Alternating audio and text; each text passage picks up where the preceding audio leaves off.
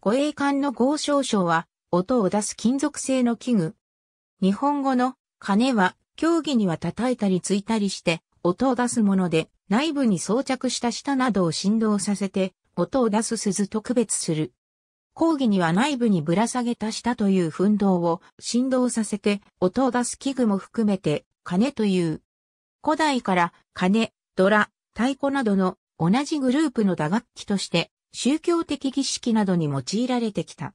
世界的に見られることから技術や文化の比較に公的な資料となっている。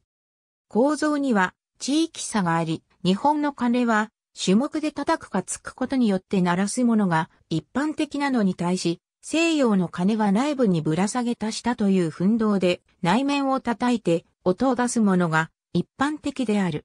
古く日本では嵐を呼ぶという迷信があり章を船に乗せることは避けられた。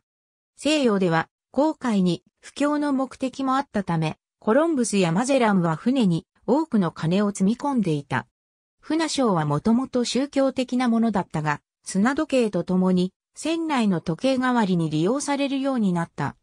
なお、英語では、自称の場合はストライクを用いるが、合章の場合はリングを用いる。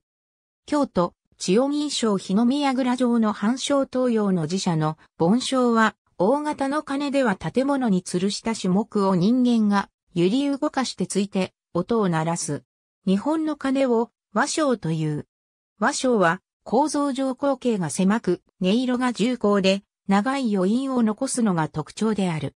縄文時代にはすでに奴隷と呼ばれる音を出す用途を意図して作られた器物が存在した。弥生時代の遺跡から出土する銅鐸も金の類である。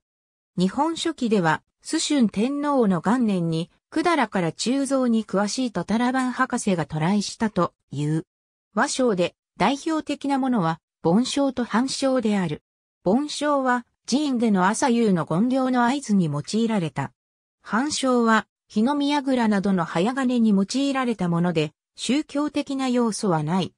中国の鐘には多彩な鋳造方法があったと見られている。日本の和章は中国の南北朝時代の老型法が原型になっているとされる。ポーランドの教会の鐘西洋式の鐘を幼少といい内部にぶら下げた下という奮動を振動させて音を出すものが多い。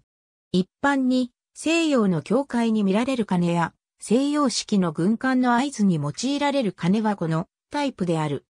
近代以降は機械仕掛けにしてした、または外見を動かすことにより音を鳴らすことも行われる。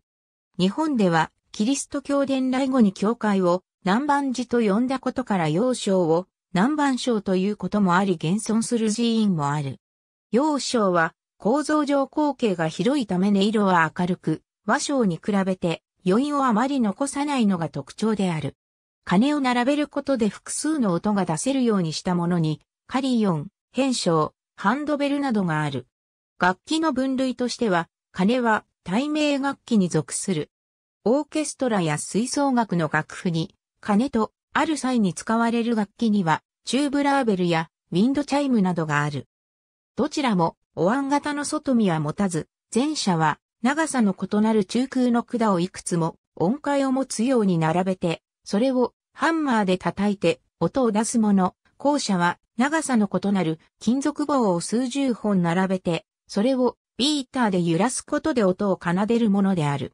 楽曲の一例として、ベルリオーズの幻想交響曲や、チャイコフスキーの序曲1812年の鐘が広く知られるが、いずれも本物の教会の鐘を使った録音がある。ありがとうございます。